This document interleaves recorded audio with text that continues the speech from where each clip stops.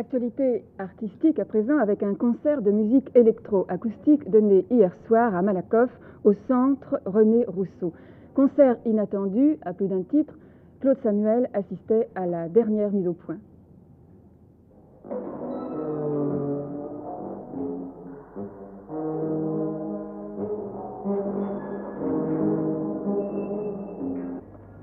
Sommes ici dans un gymnase, pas dans une salle de concert. Vous avez quelque chose contre les salles de concert traditionnelles?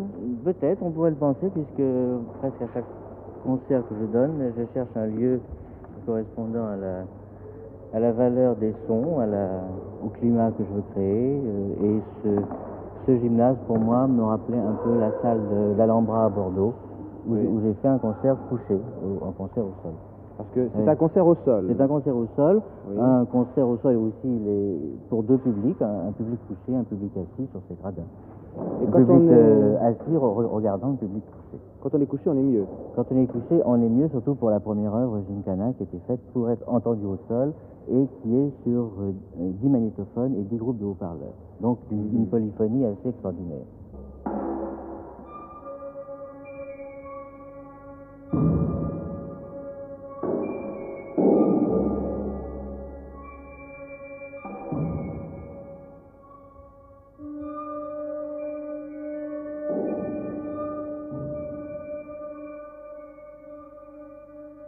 Pourquoi y a-t-il tellement de ballons? On voit énormément de ballons dans cette salle. Eh bien, les ballons correspondent à, à une idée d'environnement euh, pour à la fois euh, projeter des, euh, tout, un, tout un matériel visuel pour cérémonie et ensuite pour traiter la salle acoustiquement.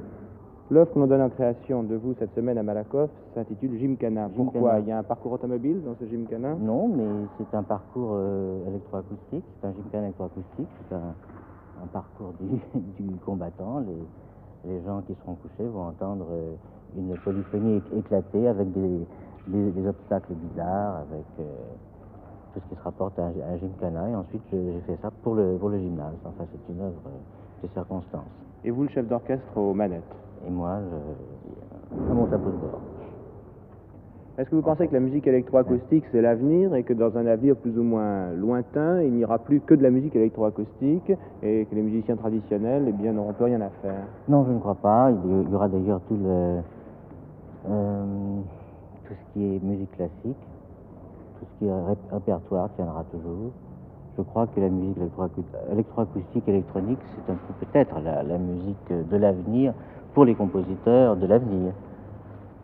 Mais il y aura toujours de la place pour les, les musiciens instrumentistes, enfin je crois, non? Et vous pensez qu'il y a une connexion euh, entre ce type de musique et notre civilisation? C'est la musique de notre époque. Il me semble.